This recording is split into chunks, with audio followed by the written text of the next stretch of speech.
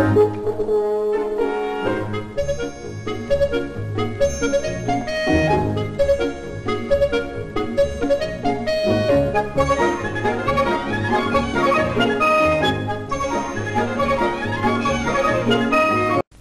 Tag. Ich heiße Pinocchio und bin ein lebendiger Hampelmann. Alles an mir ist aus Holz. Der Kopf, die Hände. Ich bin nämlich geschnitzt. Was? Das glaubt ihr nicht? Ah, da schaut mal. Da ist die Werkstatt. Da der Hobel. Da die Säge. Und hier die Späne. Und hier auf diesem Tisch, da hat er mich geschnitzt, der Meister Holzspan. Pinocchio, Huh? Oh, das ist ja der Meister Holzspan. wo sitzt du wieder? Auf dem Tisch. Und was habe ich dir gesagt? Der Tisch ist nicht zum Sitzen da. Also runter vom Tisch. Aber schnell. Nee, langsam. Sonst kriege ich nämlich Kopfschmerzen. Du bist ein frecher Bengel. Ja, das gefällt mir. Und faul bist du auch. Da ist doch nichts weiter dabei. Und wer faul ist, der bleibt dumm. Ah, das ist doch mir egal. Pinocchio, du gehst jetzt zur Schule. Wohin? Na, zur Schule. Ah, Kann ich nicht. Warum? Ich habe kein Lesebuch. Dann kaufe ich dir eins.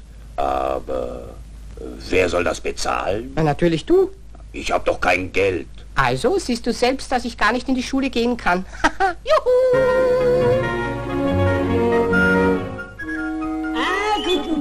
Herr Pinocchio. Guten Tag, wo kommt ihr denn her? Von Meister Holzspan. Er saß am Fenster und zitterte vor Kälte. Er hatte keine Joppe. Ja, Ja, Ich weiß, morgen kaufe ich ihm eine neue. du hast ja gar kein Geld. Sogar sehr viel. Da schaut, in meiner Hosentasche habe ich fünf Goldstücke. Fünf Goldstücke. Die nehmen wir ihm ab. Das machen wir. Fünf Goldstücke sind nur 100 Mark. Na, ich habe aber nicht mehr. Willst du nicht lieber 1000 Oder 10.000. oder 100.000 Mark haben? Oder noch viel mehr.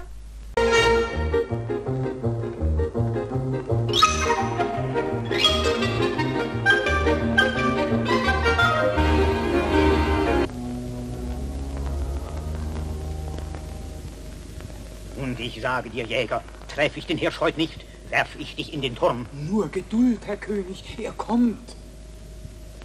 Der Hirsch muss kommen. Bei Wasser und Brot lass ich dich verfaulen, Kerl, wenn uns... Herr König, es hat geraschelt.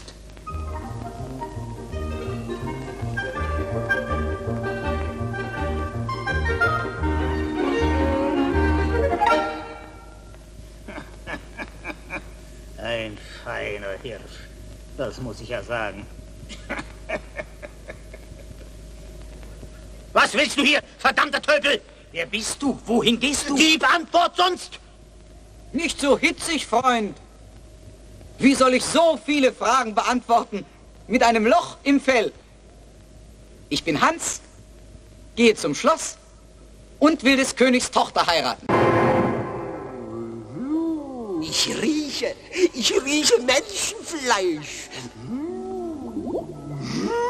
Dummer Teufel! Immer hast du Menschenfleisch in der Nase. Ich eben gekehrt und du wirfst alles durcheinander.